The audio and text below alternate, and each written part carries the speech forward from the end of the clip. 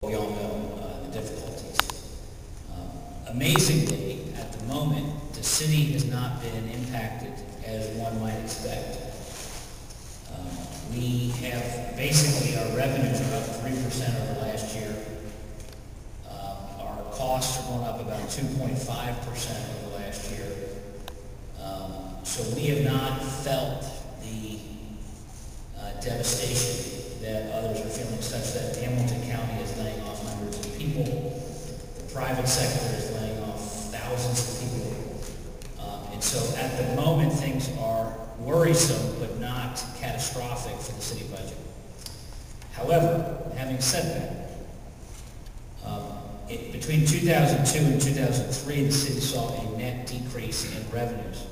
Uh, And that's not adjusted for inflation, that's just flat numbers.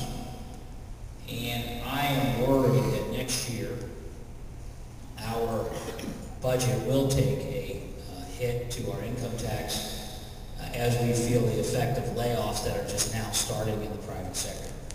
Uh, What drives our uh, income as a city budget is the earnings tax, which is basically an income tax. The only distinction is that it has to be earned within the city of Cincinnati. And as layoffs hit the economy and will inevitably hit Cincinnati, uh, we will, in my opinion, feel a, uh, a real pinch on our income taxes next year. Uh, I say all that to say that uh, I think it is, we are lucky that we will not be facing any layoffs or anything like that. But I think it will be incredibly important for us to try to build up our reserve funds to deal with what could be a much worse situation next year so that we don't find ourselves a year from now dealing with a falling off revenue source and having to make really drastic cuts. Uh, so I think we have to be lean and mean uh, this year and build up a reserve fund in order to deal with that. Uh, So that's what I think are the, that's the big picture of the overall uh, uh, world we're in. Where we see, at the moment, we seem to be luckily in a parallel universe that somehow is more benef- beneficial than every other government and private sector.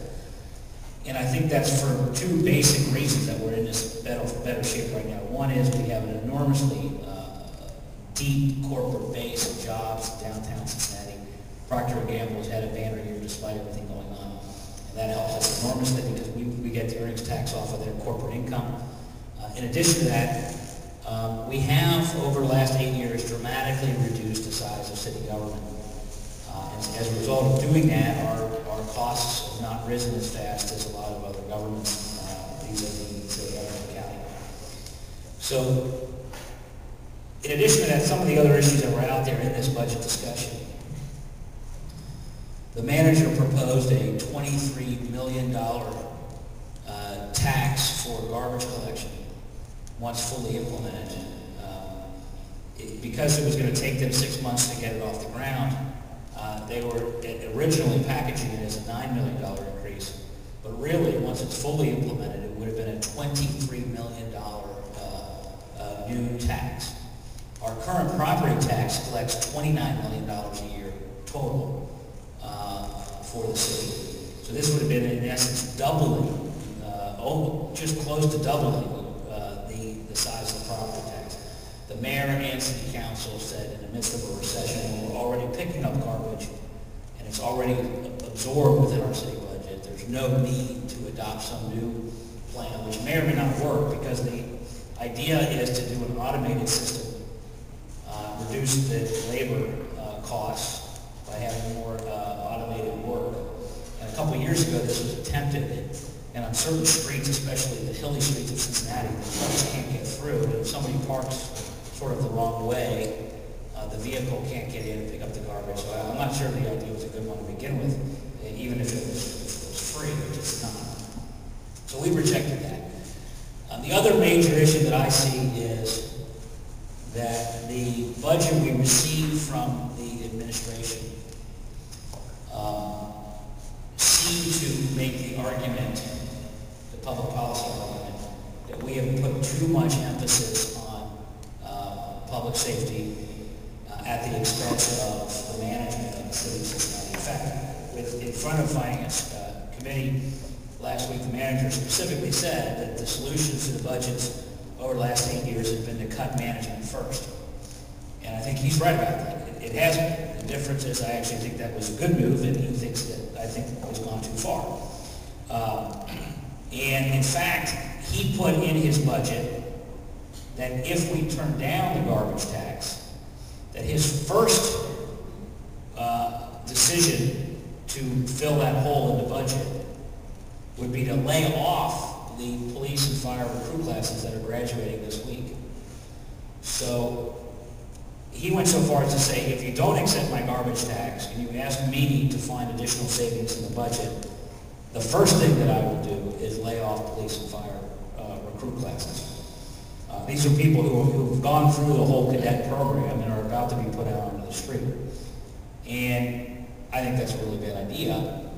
Um, But that just goes to show you, I think, some of the policy disputes that are going on between council and administration, is that you, I think, have a pretty, uh, a pretty large gap uh, in priorities uh, between the council and the administration. So what I think we're going to do is, is uh, maintain our commitment to public safety, uh, maintain um, the vital services that our community has, maintain, in fact, I think slightly increase uh, the money available in our safety net by increasing the funding slightly uh, over last year for human services, which I think is an important symbolic gesture given the uh, downturn in the economy that people are facing. And I think frankly, there will be added pressure to continue to reduce through attrition uh, positions within the management structure of City Hall. So in essence, we are on a different page as the manager, at least I am, uh, uh, on those issues. So I'm going to let my colleagues uh, have a few words here, and uh,